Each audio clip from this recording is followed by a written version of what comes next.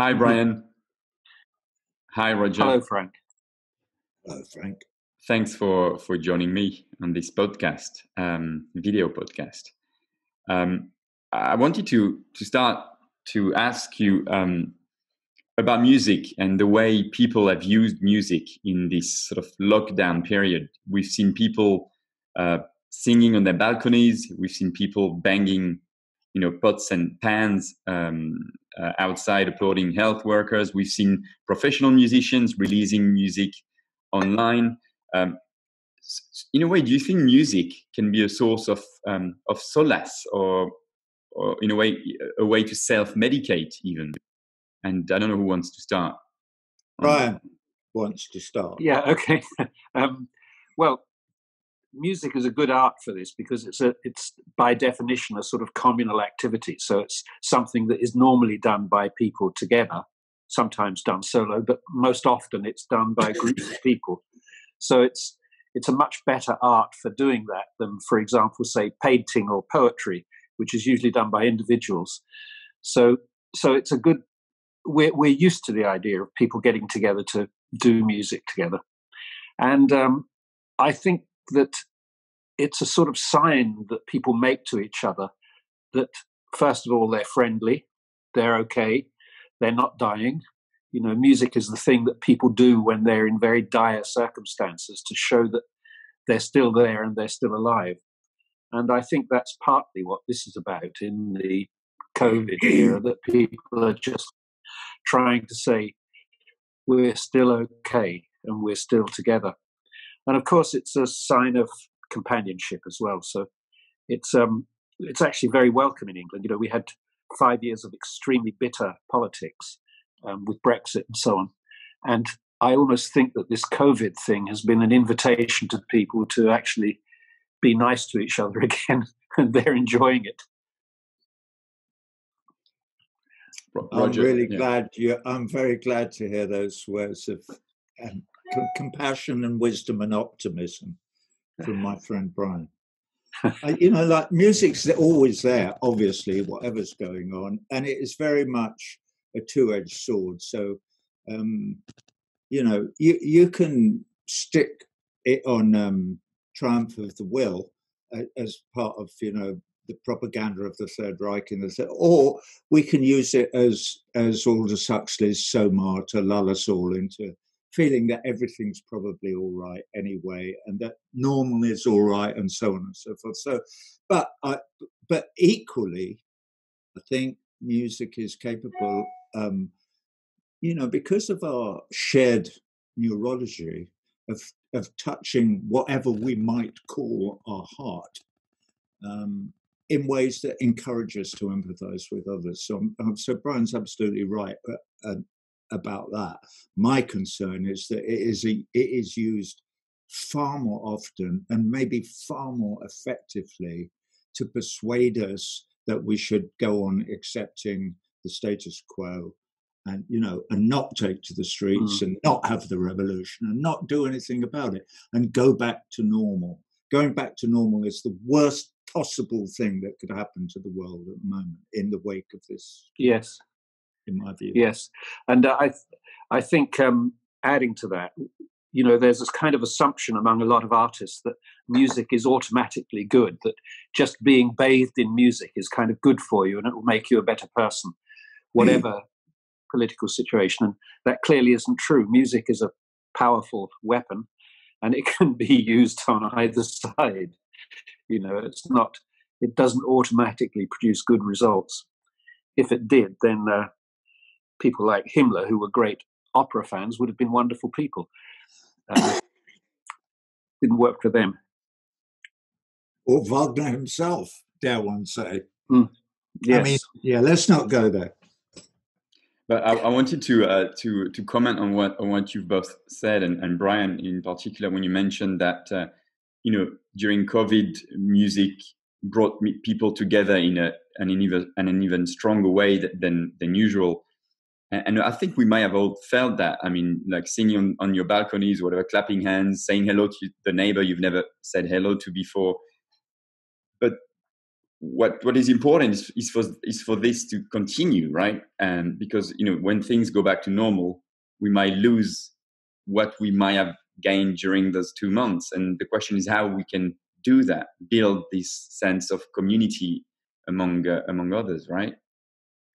Well, I don't think things will ever go back to normal. I, I really think they won't.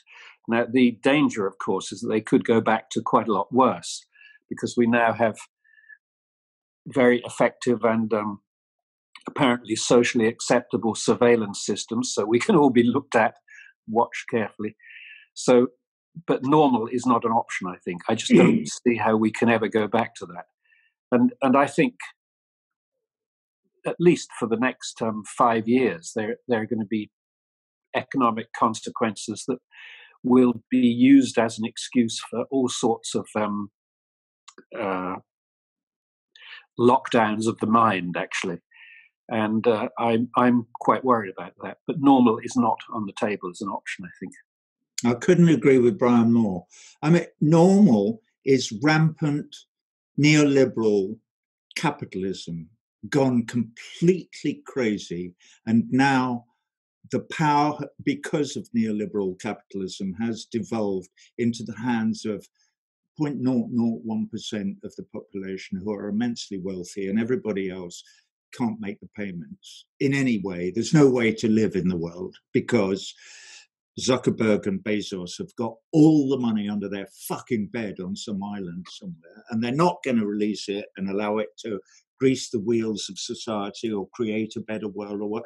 They're, they're using it to fulfill the prophecy of Armageddon and the end of the world. They are using it to destroy the planet, which is ours, and all the other species on the planet. But it's not mm. there to do with what they will. The days of raping the planet for profit are clearly an anachronism that we should have shrugged off several hundred years ago, and we fail to. And my concern about music as a tool of the propaganda machine, as a tool of the Ministry of Information, as a tool of Big Brother, is that it is being used to perpetuate the system. Because these fuckers don't care that they're destroying the world. They don't care. They couldn't care less. They they they are entirely encapsulated in this tiny bubble of profit, profit, profit, profit, profit, profit, and that's it and they will not brook any interference with the model, even though a small child can see all over the world children are tugging at their mother's sleeves, going, Mummy, Mummy, the emperor's got no clothes. What the fuck is going on? Why are they just why are they killing us? Why why why do we live in a state of perpetual war? Why? Because they can make money out of it. Stop tugging my sleeve. you know. So it's obvious, it's obvious, but is there anything to be done about it? You know what you were talking earlier, Frank, about pots and pans, the Cacerolazo um, protests in which I came across first through talking to friends in Santiago in Chile, but I've seen it in in many other places now in in South America. This is one of the positive things of um, is is social media the fact that we have video cameras may be, may be um, disproportionately negative effect upon our lives, but it does have this effect. You can point it at a policeman, okay? You can point it at your neighbors all with their pots and pans, leaning out, out of the windows, standing on their balconies, protesting it, otherwise, we would never see this because the only reports we would get from hmm. Santiago or from Quito or from Rio or from all the, or, or from Lebanon or from Beirut or from any, you know, or from Israel would be via the conduit of the mainstream media who never tell us the truth ever about anything. They are there. Their function is to make up stories to divert us from ever seeing what's really going on or what the reality of our lives. So this this little you know this iPhone thing is hugely hugely important. I've I use mine more and more now to make tiny messages for people, and they're like I try and keep them less than two minutes so they'll fit on Twitter. The last one I made was because some people in a in in Villa 31 in in um, uh, Buenos Aires in Argentina had had there's a paper there called uh, Garganta Poderosa, and they they'd said there's a lady here who's just died of coronavirus in this. I don't know what Spanish for favela, favela is, but anyway, there. And uh, she had been writing to the authorities rem- relentlessly asking for water because they say, "Oh, wash your hands every." What are you talking about? We don't have any water. We do not have. How can we wash our hands? We haven't got any water. So I tagged my little my little video. Water is a human right, and of course it is. But of course it isn't because they sell it to us. They collect rainwater and sell it to us, and it's called Evian or whatever it might be called. But this is our water that is being sold. And if we can't afford it, we go thirsty. And we certainly don't have any left over to sing happy birthday while we're washing our hands five times a day. so, so Ramona Medina, we will not forget you. That was the lady's name. Yeah. But what's interesting is that I don't know how many views this little thing has had two or three hundred thousand or something like that. So there's two or three hundred thousand people who would never heard of this woman or her mm. one protest in this favela in Argentina, and now they have, and it spreads, you know, and it yeah. spreads, and that's great. But it's our only Frank is our only way. It is our only conduit to the world. Frank and RT, they're the only people who will speak to me. and and, um, and it, it's good. No, it's good to be able to talk to people. You know, we, we really should spend our lives down the pub talking to each other, which is something people used to do. They did, and they don't do that anymore. Pubs mm. are, I don't know what they are anymore, but they're certainly not that. They used to be the hub of the community, mm. and you would go, and there were certain class you know, discrepancies. There'd be the lounge bar where the posh people drank gin and tonic, and the public bar where you had a pint mild, or bitter if you were feeling like pushing the boat up. I don't know, but so thank goodness for Frank and for social media and for being able to actually speak to one another about things. i finished now. I I uh, I wanted to say, I mean, in a way, we we go we're going around in circles, right? Because what you said, Roger, is true. You can get a, a short video getting 200,000 views if you Roger Waters or Brian Eno, I guess. Um, so maybe 200,000 people will see the video and we will uh, hear about something they didn't know before, the you know the the water in, in Latin America, etc. But then is how do you turn these people that have been touched by this two minute video in a way into activist and into a movement, right? And I think that's the question. I mean, as activists and stuff, we've worked on for we've we've tried to sort out for years, right? How do you actually create a, a massive popular movement? I'm not asking well, you to think, give me an answer. Sorry, I, I think um, I think that's something that grows quite slowly, and it grows when the climate of information changes. You know, when when I remember this, there's this great book about the end of the Soviet Union called Everything Was Forever Until It Was No More. And the writer of that book says that revolutions always happen in two stages. He says the first stage is when everybody realizes something is wrong. But the second stage, and the important stage, is when everybody realizes that everybody else realizes that as well. So, so then you kind of get a gelling effect where suddenly we all realize we agree about this thing. We're all on the same side. And so I think I think this this long term process of constantly putting out your messages and having these kinds of discussions on social media, if you like, but other ways as well, um, they create the climate where a revolution can happen quite quickly. The interesting thing about the Soviet Union was that it happened overnight you know, from one day to the next. There was a complete change. And I think these things can happen very quickly if there has been a lot of this prior conditioning going on. If everybody is kind of ready for it, you know, you don't have to explain to everybody because we've all been reading those social media posts and so on and so on. so I think it can happen quicker than we think. You and, need a system, though, that's capable of producing a Mikhail Gorbachev in, in order to facilitate the tipping point, because you're talking really about the hundred monkeys. You're talking about the tipping point when suddenly it spills over into and and it and it tipping point. There was a book about it. I can't remember, but it's a fascinating idea, as you, which is what you're talking about. You're saying suddenly you mm-hmm. hit that magic number, and it's like you develop herd immunity to the yeah. and you you become immune to the propaganda that perpetual war and killing people for profit and you know um, your navy and armed forces murderously swarming over the world, killing people for money, is not right, and that it doesn't make you happy. Mm-hmm. You know, are you happy? Are you are you happy in the United States of America? Are um, the American people who are at heart are good people and industrious and cosmopolitan and at least have a constitution and so on? No, they're not. They're not happy. They're fucking miserable. Mm.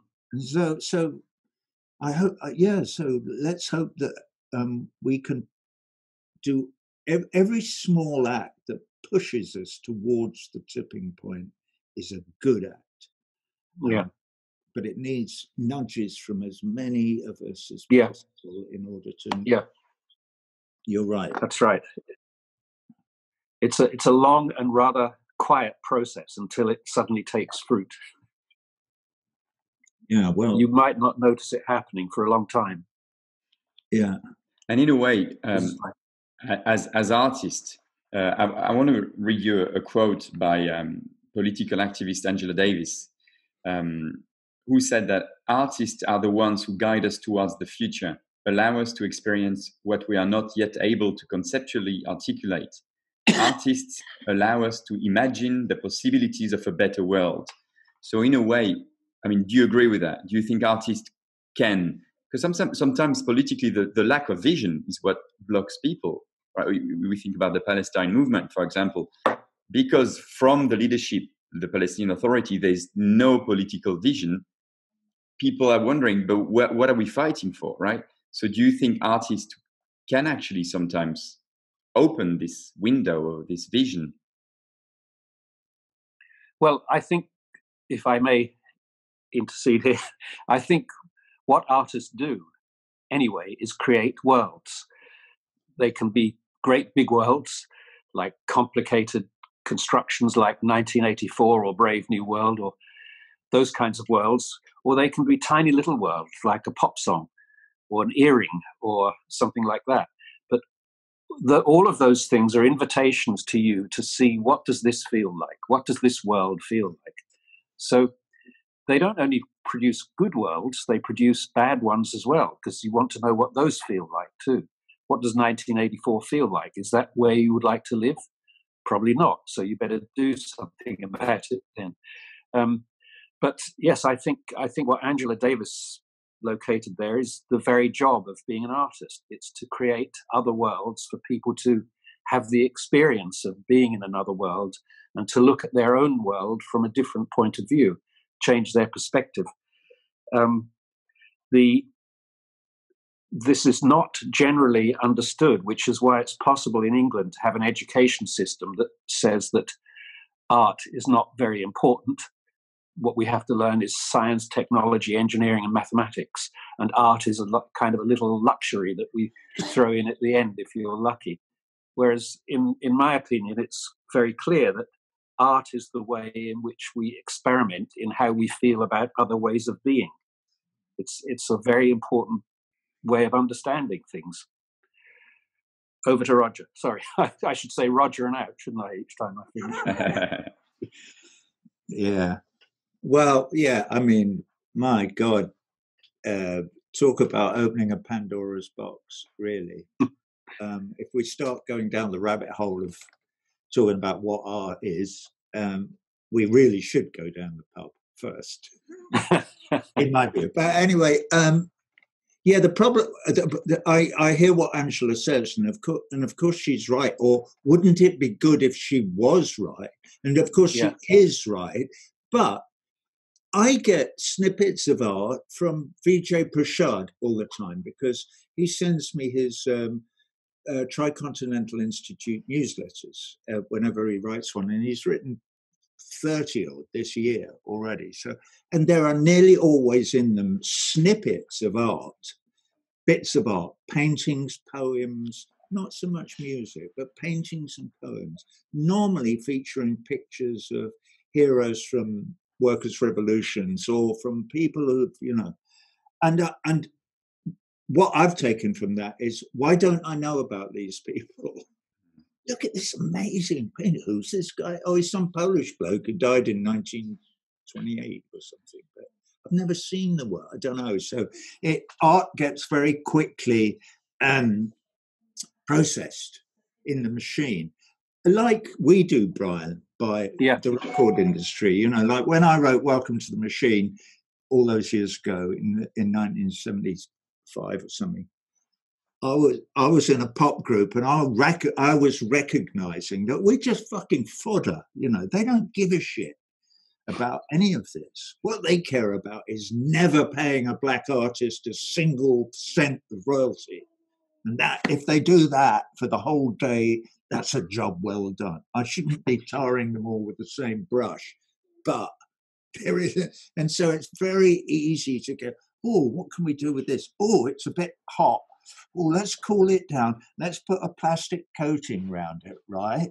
And uh, let's put a bikini on it and make it twerk, and then everything will be all right because nobody will ever think about anything again except bums.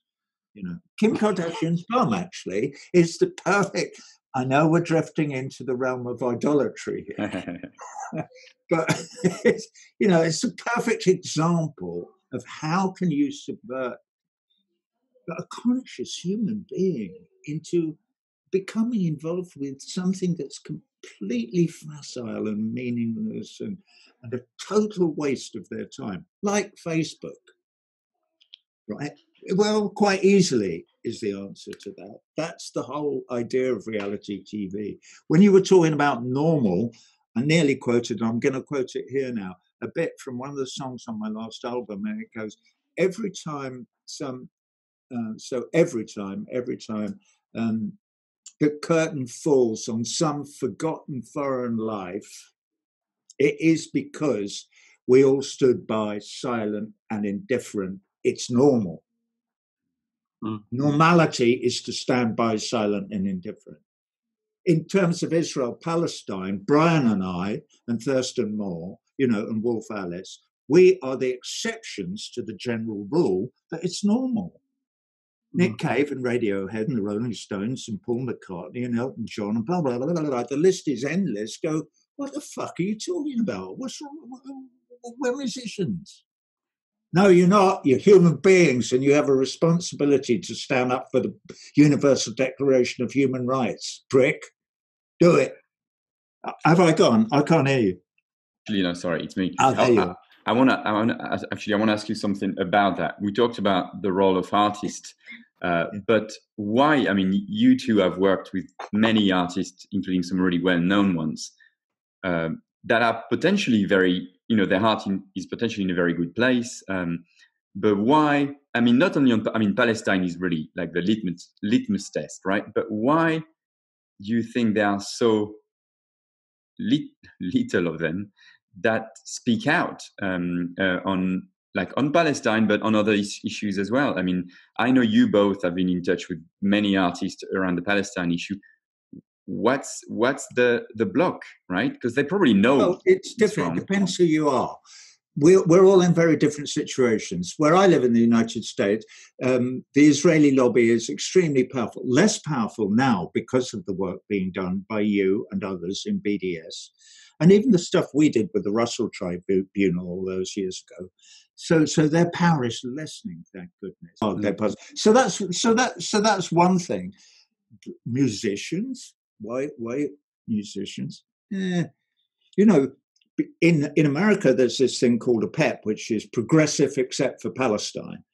Well, that that is the thin end of a very nasty thick wedge. Because if you don't say if Palestinians don't are, are not allowed human rights, then nobody is. Why, why would you care about the Rwandans or the Tibetans or the, you know, or, the, or whoever those people are in, you know, in China, the Muslims or what, or anybody, anywhere, or the whole of the population of Latin America?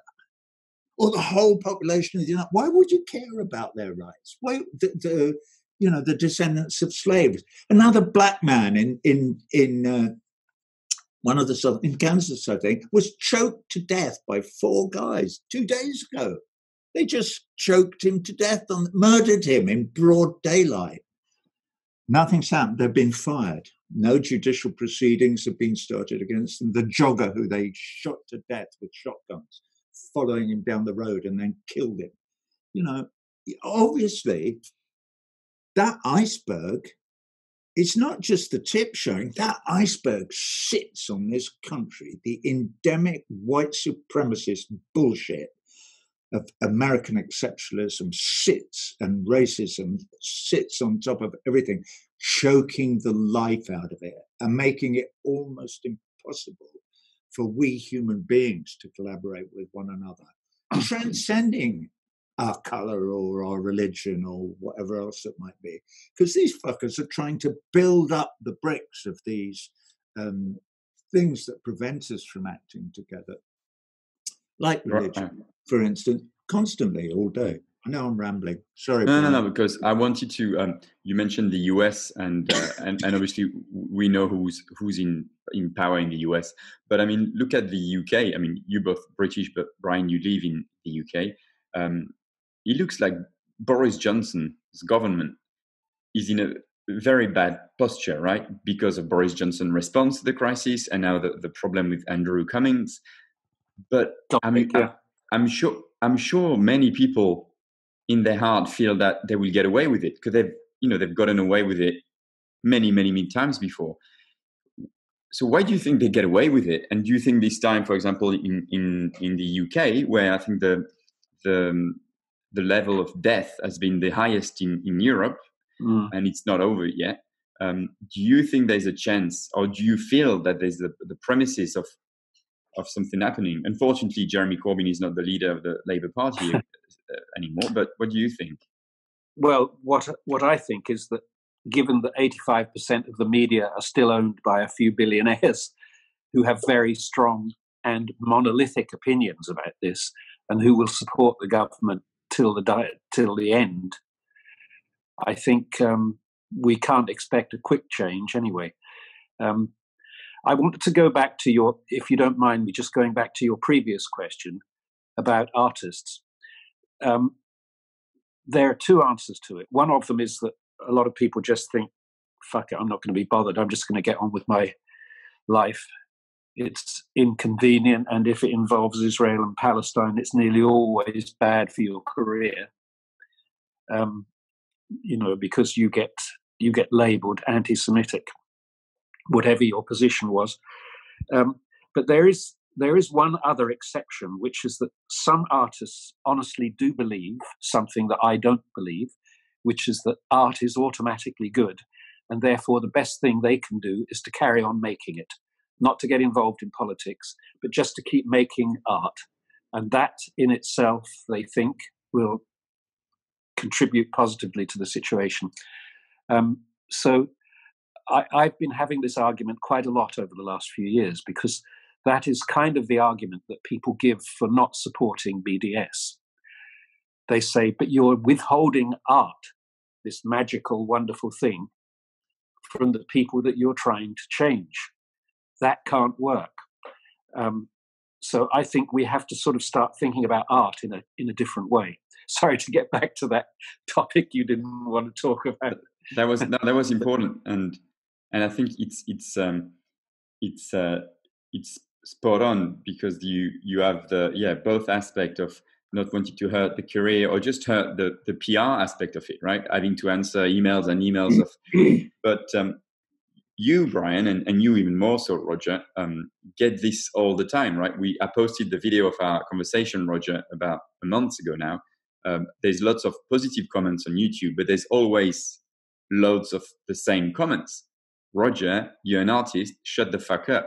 Sing, you know play guitar mm. don't come and talk about palestine and that's again going back to are you an artist first like uh, you, you, know are you are you a musician that is political or are you actually a, a citizen first that that's making music?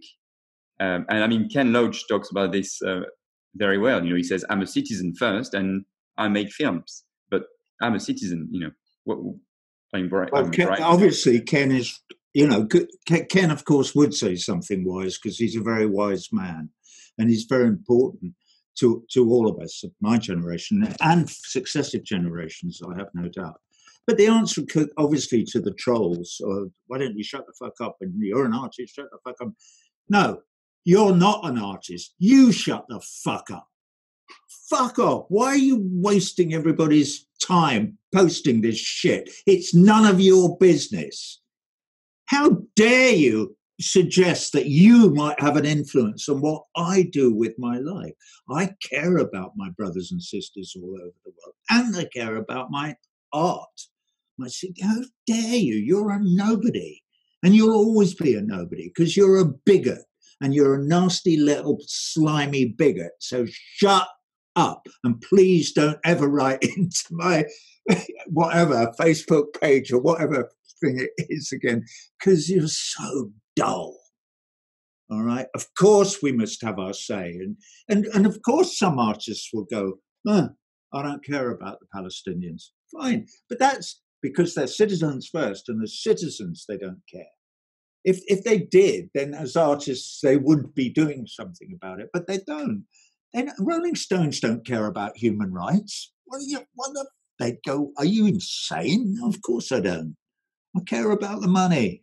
They're quite open. They're, at least they're honest. At least they don't pretend like other people I could mention, you know, that they're somehow solving the problem. You know, no, you're not, Nick Cave. Brian, do you want to? I can't even. I can't remember the question now. Was uh, but um, you know, you want to? Uh, well, yeah. Come on, yes, you're the I good cop. I I do believe that you could I do believe that you could honorably choose not to take a political position or not to contribute to that discussion and uh, not and it wouldn't be because you're a coward necessarily. Now i think of course in that particular situation israel palestine there are lots of factors involved because they pay a vast amount of money if you go and play there. So of course, we're all polite people, so we never talk about the money as though that isn't a factor in anyone's thinking. But you know, if you're going to get a million dollars for a show, that's a lot of money, and um, that's sort of what they're paying, I think, at the moment. And so, but let's leave that out. Let's say that that is not a factor in anyone's thinking. And I keep trying to say that there are people who honorably believe that they're doing the best thing for that situation by not making political comments about it. That is not my position at all. I don't, that doesn't make sense to me. But it's their position because they believe that just art, sort of poured onto a situation like uh, some magical syrup, will make everything better. That people will be improved automatically by art. And I always say to them, well, the biggest art collector of the 20th century was Himmler. He had a huge collection of paintings, ancient, uh, older Flemish and Dutch paintings, which were mostly stolen from Jews. Did Himmler turn out to be a very enlightened being sitting in the middle of this huge collection of art? It doesn't necessarily make you into a good person to be exposed to art. And, and I think this is, we, we always talk about art as though it's this magical stuff and uh, we, we must never criticize it. It can't be bad. But nothing that's powerful is only good. Anything that's powerful is dangerous. And art is part of that as well.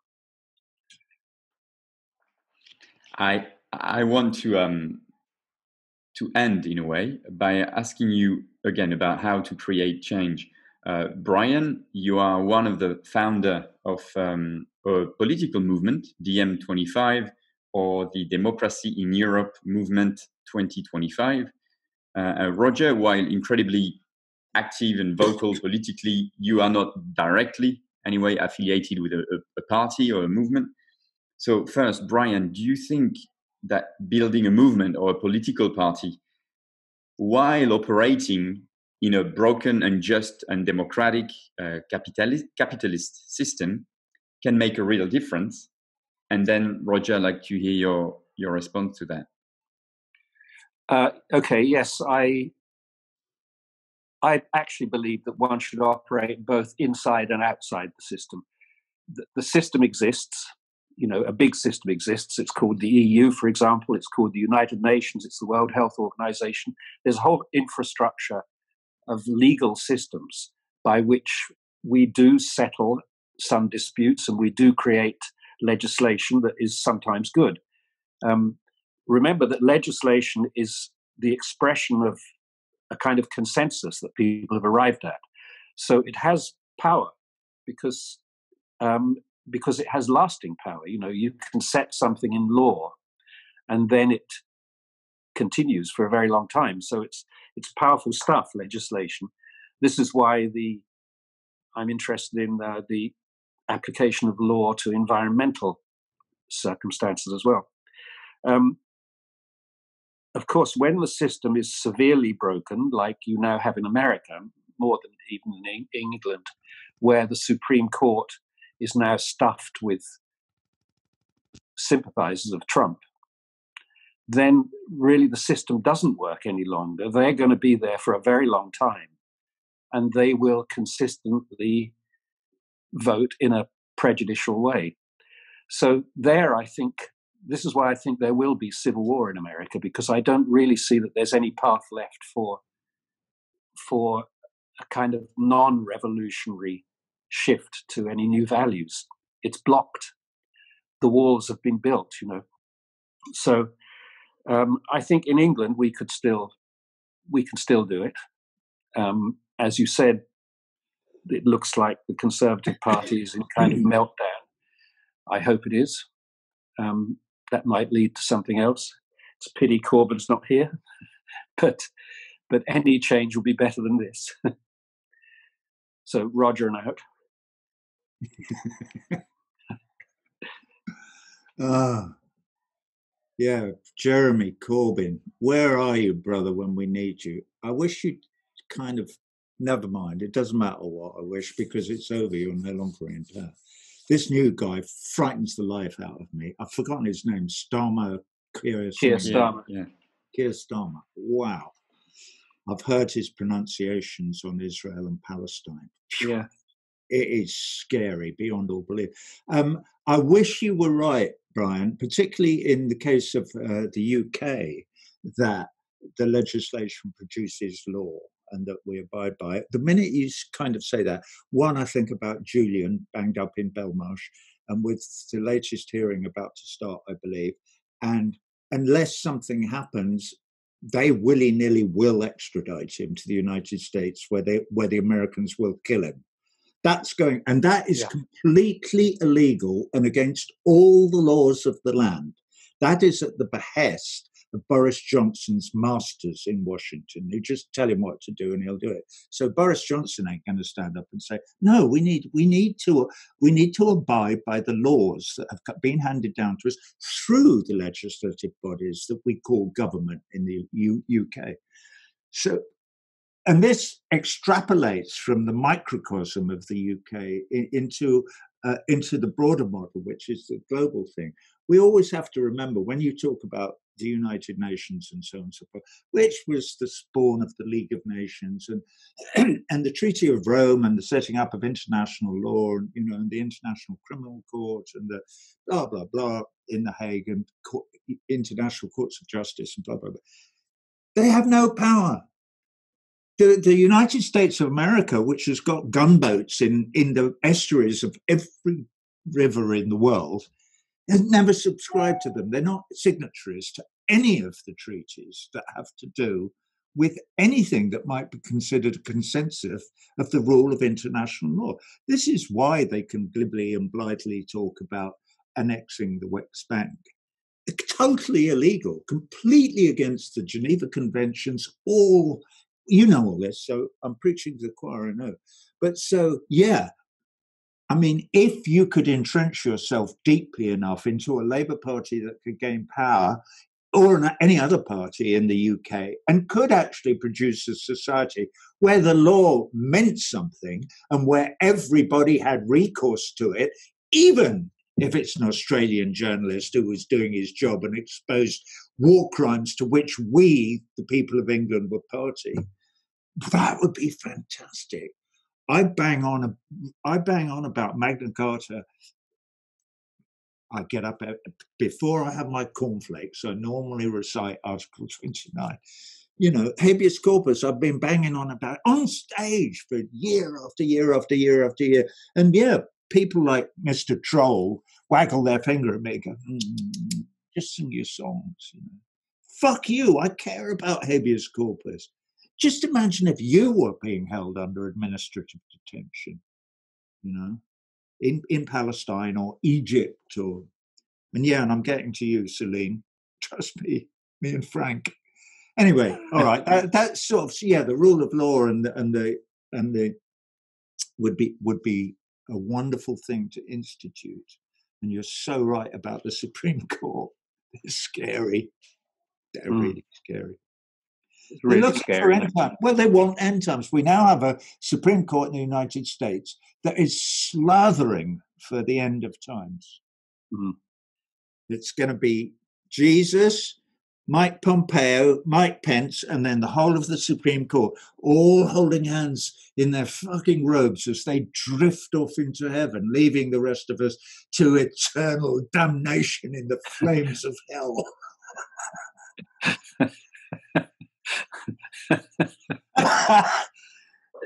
I think I'd rather be in hell, frankly. Imagine having eternity with Mike Pence and Mike Pompeo and Jesus. That, that's going to be the title of the interview. I'd rather be in hell. anyway, I tell you what, this is this is for me. This is as good as going down the pub. You know, because I like you guys a lot, and uh, I w- yeah, I wish we were down the pub, but this is there's nothing that wrong with Zoom. It, Apparently, Zoom steals your, your data in a big way. I mean, that's what I've heard. But does it? I mean, oh, they all do, right? But yeah, I was reading articles about Zoom being quite bad at protecting our data. Oh, of course they will but, be. Yeah, no, they're part of the machine, but yeah. you know, at a certain point, you have to stand in your padded cell and yeah. worm your way free and give the fucking camera the finger, you know, because mm. that's that's what you have to do. You have to keep doing that over and over and over again, or join the Labour Party with Ken Loach I'm not putting Ken down, by the no, way. No. You know, he's a huge hero of mine, as you know. fight until until the end. Yeah. anyway, um, that was lovely. Thanks a lot, guys. Uh, guys, sorry, but thanks a lot, Brian. Thanks a lot, Roger. That was uh, very nice and interesting, obviously. Um, so yeah, I'm gonna stop the recording now. Okay. okay.